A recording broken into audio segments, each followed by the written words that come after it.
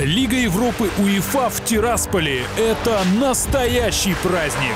Праздник скорости, праздник спортивного азарта, праздник футбола. 24 августа в 19.30 все на стадион. Шериф против чемпиона Польши, Легии из Варшавы. Игра, в которой решится все. Главный матч Шерифа в этом году.